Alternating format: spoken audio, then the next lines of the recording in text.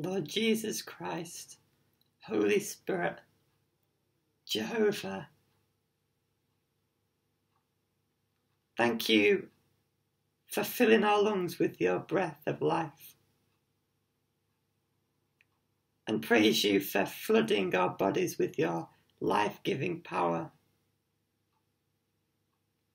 Help us to deeply trust in you, in good times, in bad, when we're weak and when we're strong, when we're suffering and in times where we're not experiencing suffering.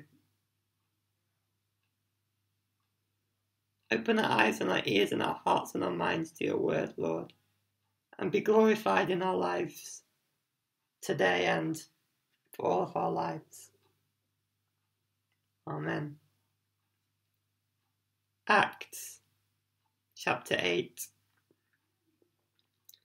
Saul was one of the witnesses, and he agreed completely with the killing of Stephen. A great wave of persecution began that day, sweeping over the church in Jerusalem, and all the believers except the apostles were scattered through the regions of Judea and Samaria. Some devout men came and buried Stephen with great mourning. But Saul was going everywhere to destroy the church. He went from house to house, dragging out both men and women to throw them into prison. But the believers who were scattered preached the good news about Jesus wherever they went. Philip, for example, went to the city of Samaria and told the people there about the Messiah.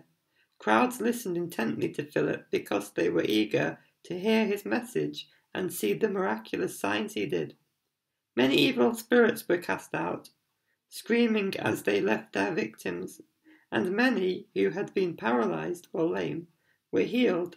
So there was great joy in that city. A man named Simon had been a sorcerer there for many years, amazing the people of Samaria and claiming to be someone great. Every one, from the least to the greatest, often spoke of him as the Great One, the power of God. They listened closely to him because for a long time he had astounded them with his magic. But now the people believed Philip's message of good news concerning the kingdom of God and the name of Jesus Christ. As a result, many men and women were baptized. Then Simon himself believed and was baptized. He began following P. Philip wherever he went, and he was amazed by the signs and great miracles Philip performed. When the apostles in Jerusalem heard that the people of Samaria had accepted God's message, they sent Peter and John there. As soon as they arrived, they prayed for these new believers to receive the Holy Spirit. The Holy Spirit had not yet come upon any of them, for they had only been baptized in the name of the Lord Jesus. Then Peter and John laid their hands upon these believers, and they received the Holy Spirit. When Simon saw that the Spirit was given when the apostles laid their hands on people, he offered them money to buy this power. Let me have this power too, he exclaimed, so that when I lay my hands on people, they will receive the Holy Spirit. But Peter replied, May your money be destroyed with you for thinking God's gift can be bought. You can have no part in this, for your heart is not right with God. Repent of your wickedness and pray to the Lord. Perhaps He will forgive your evil thoughts, for I can see that you are full of bitter jealousy and are held captive by sin. Pray to the Lord for me, Simon exclaimed, that these terrible things you've said won't happen to me. After testifying and preaching the word of the Lord in Samaria, Peter and John returned to Jerusalem, and they stopped in many Samaritan villages along the way to preach the good news. As for Philip, an angel of the Lord said to him, Go south, down the desert road that runs from Jerusalem to Gaza. So he started out, and he met the treasurer of Ethiopia, a eunuch of great authority under the Candake, the queen of Ethiopia. The eunuch had gone to Jerusalem to worship, and he was now returning. Seated in his carriage, he was reading aloud from the book of the prophet Isaiah. The Holy Spirit said to Philip, Go over and walk alongside the carriage. Philip ran over and heard the man reading from the prophet Isaiah. Philip asked, Do you understand what you are reading? The man replied, How can I, unless someone instructs me? And he urged Philip to come up into the carriage and sit with him. The passage of scripture he had been reading was this He was led like a sheep to the slaughter, and as a lamb is silent before the shearers, he did not open his mouth. He was humiliated and received no justice.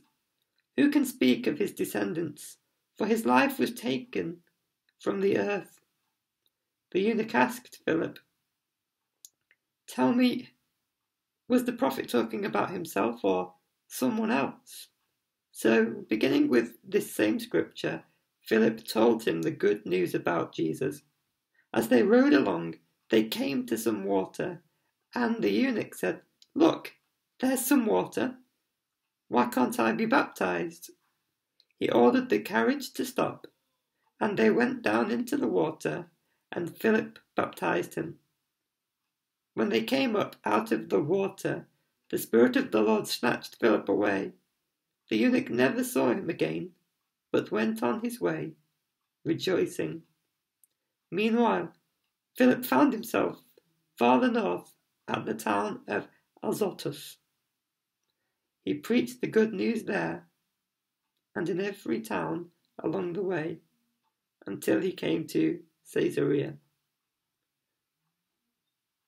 This is the word of our Lord. Thanks be to God.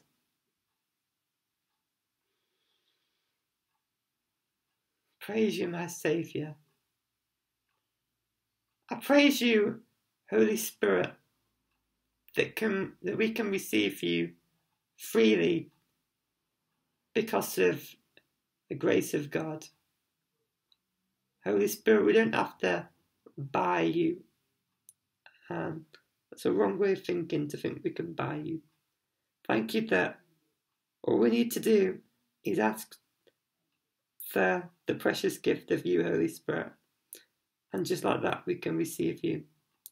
And as we do that, as we are filled with you, help us to lay our hands on others and give out you, Holy Spirit, to others. It's a filling and an emptying, a filling and an emptying. We get filled by you, we give you out. Praise you, my Lord. Praise you, Holy Spirit. Praise you, Jesus Christ. Thank you for the Ethiopian eunuch finding your salvation, Jesus Christ, as Philip explains the prophet of Isaiah, the prophet Isaiah's words. And I thank you that just like that, he could be baptized instantly. He didn't have to wait a long time to be baptized. He turned to you, he got baptized. And I praise you for that. You're wonderful, God. And I praise your name. I thank you that even though people got persecuted, they spread out to different areas and your gospel was preached. The more that the believers were persecuted, the more your gospel spread. Praise you for that. Hallelujah. It couldn't be stopped. It could not be stopped. No murders, no persecutions were going to stop the Christian believers from growing and growing in number. Because that was your plan, Father, for your church to spread across the globe. And indeed it did. Praise you. Amen.